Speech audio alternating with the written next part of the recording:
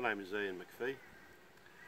I'm in the Brisbane area in Queensland, Australia, and I'm here today to talk to you about the Innovv K5 dash cam system. As you can see, it's attached to my motorbike. My motorbike is a 2012 Yamaha Super Tenere, which has been extensively modified to complete long distance motorcycle rides and uh, the camera system has been mounted as part of a longer series of rides that we have planned. There are several components to the K5. There is the front camera system. This is a, a GPS dongle. This is the Wi-Fi connection. The last piece of the system is the rear camera and the piece that is interesting is the wired microphone. The camera system comes with some of the latest technology. The front camera is a 4K camera. The rear camera is a 1080p which was the latest and greatest thing until the 4K camera came out.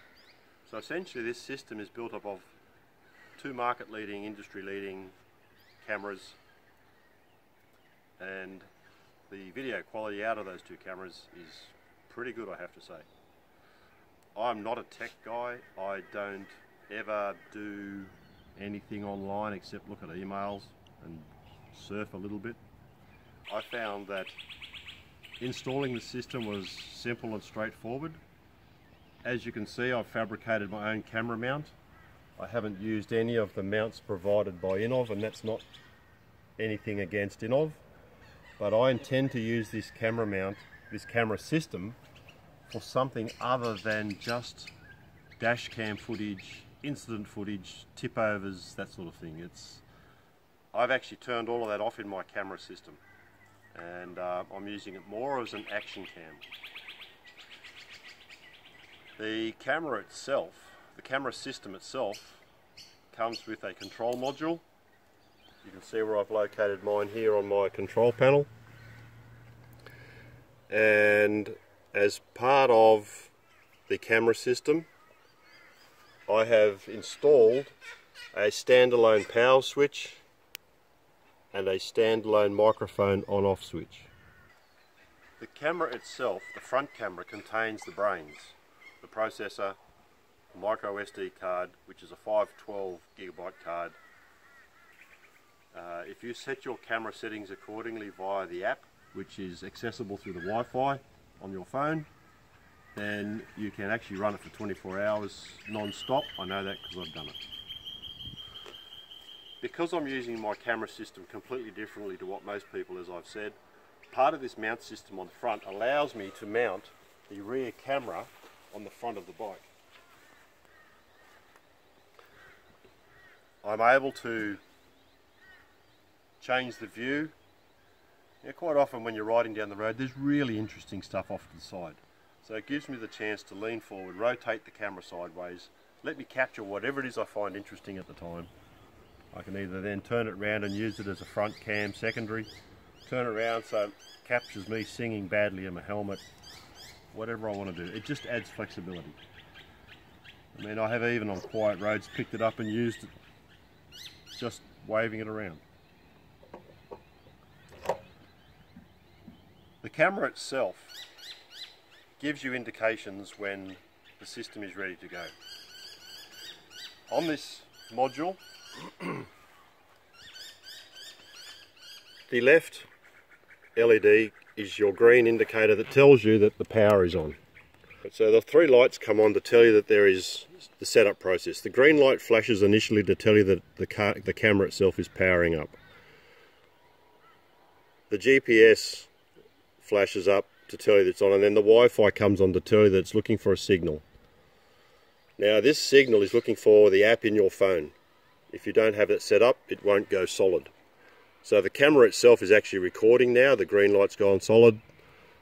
The GPS is found its satellite and is is set up tracking on that and the blue Wi-Fi light may or may not go solid because I don't actually have the Innovv app open in my phone right now. Over here, like I said, I've connected the red and yellow power supply wires directly together and run them under an on-off switch under a missile cover. If the switch is up, the cover's up, it's powered on. If it's down, obviously it's off, the thing is dead. But I've done the same with the microphone. I spliced into the microphone circuit, fitted an on-off switch because a lot of the time things we don't, there's things we don't want recorded. Tons and tons of road noise, tons and tons of engine noise. We don't want all of our phone conversations recorded. Um, and you know, I've found that the microphone is extremely sensitive, especially when I locate it up inside my helmet, right under my chin. It actually can hear what's coming out of my earbuds. I've got footage of it recording conversations and video. I don't want that. I put an interrupt circuit in. It makes it very easy to use. It makes it far more versatile, flexible, and for what I'm doing, makes it much better in the sense that I can control the system more finitely. The Innovv K5 camera system has to me, who is not a tech orientated guy, it's been easy to use. Uh, it took a little bit of getting used to to understand how to transfer files and and it took me a little bit of finding a video editor that would work. And it took some repetition before it became um, easy for me to repeat. And so you know, I'm, I'm now at the point where I'm going to go and start doing a few rides, uh, turning those into videos, I'll post them up as well. The last thing I want to talk about is the microphone. A lot of people don't like wired microphones. Everybody has gotten so used to Bluetooth headsets, Bluetooth voice command, all that sort of stuff, that the wire is seen as a negative. I would counter that with the fact that the audio out of this system is bar none the best I've ever heard. I clip it up inside my helmet. It stays inside the chin piece. It sits about there. I don't notice it's in my helmet.